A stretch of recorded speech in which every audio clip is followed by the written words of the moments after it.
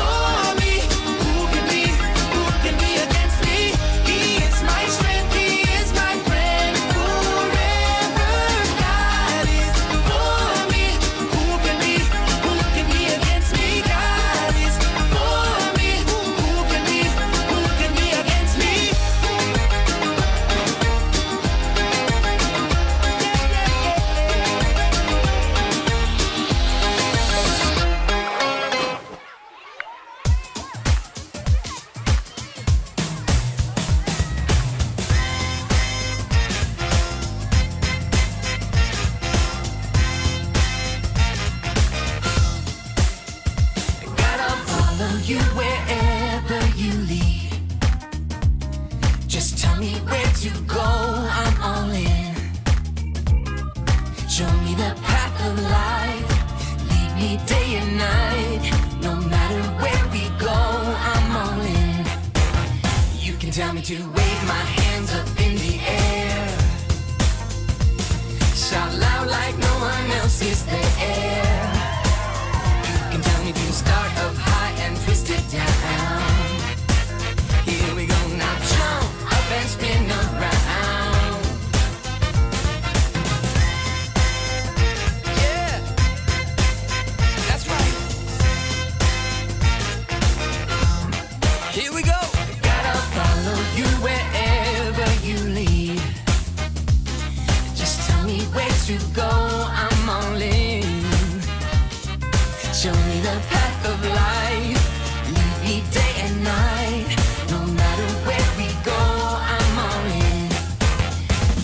to wave my hands up in the air.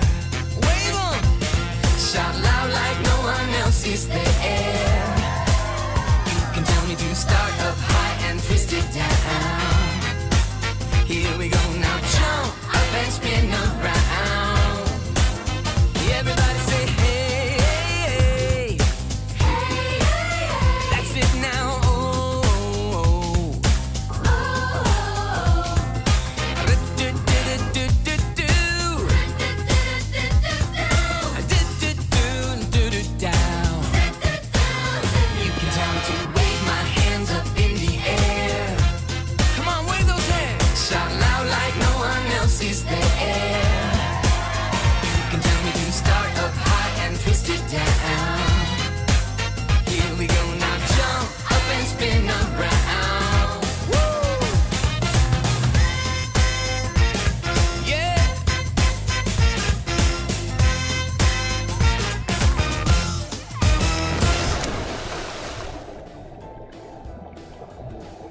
I'm so excited for the lesson we're going to watch today.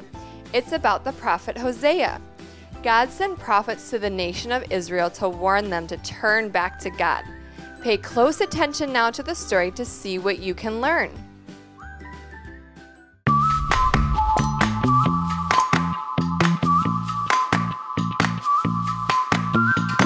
God wanted to send a message to his people. So God gave instructions to the prophet Hosea. Oh. Marry a woman who will not be faithful to you, God said. Be a father to her children. God was going to use Hosea's life to show his people in Israel what God's love for them was like. Hosea's wife would love other men instead of Hosea, just like the people of Israel loved and worshiped other gods instead of the one true God. God was telling Hosea to do something very difficult. It is hard to love someone who doesn't love you back. But Hosea obeyed God. He married a woman named Gomer.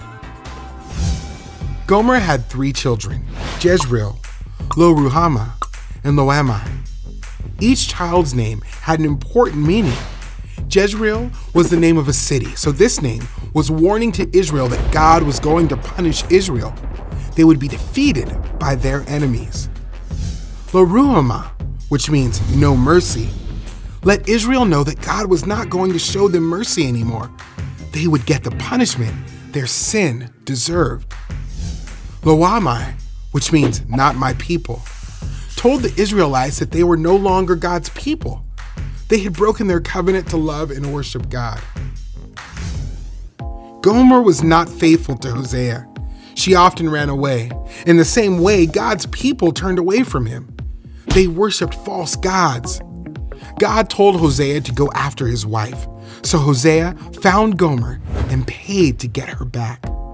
Stop being unfaithful, he said. Gomer had not loved her husband like a wife should, but Hosea loved her anyway. God gave Hosea a love that would never give up. God wanted the people of Israel to understand that they were like Gomer. The Israelites did not love God like they should, but God loved Israel anyway. Hosea warned the Israelites that God was going to judge them for their sin. He pleaded with Israel to turn back to God. Come, let us return to the Lord, he said. Let us strive to know the Lord. God was going to punish the people for turning away from him, but he would keep the promise he made to Abraham. Abraham's family would be a big family, and one day, Jesus would come from Abraham's family.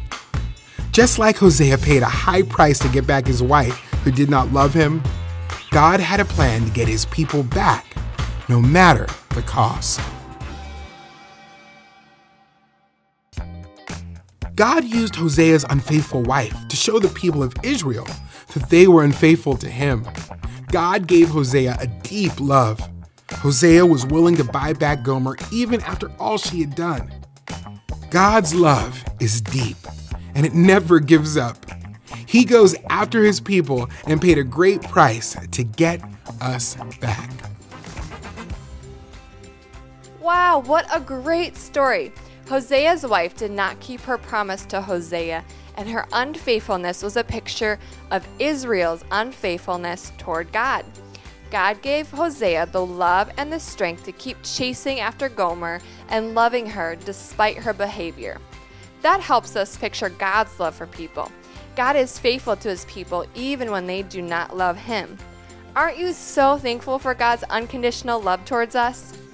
Right now, we're going to do our memory verse. Let's watch it together now. God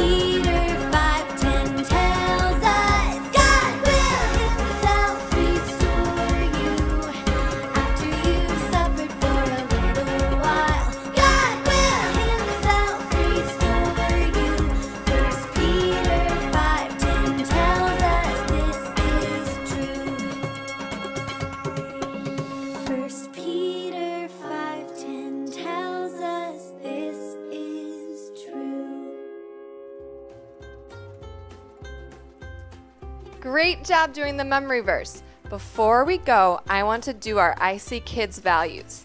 Do you still remember them? Let's do them together.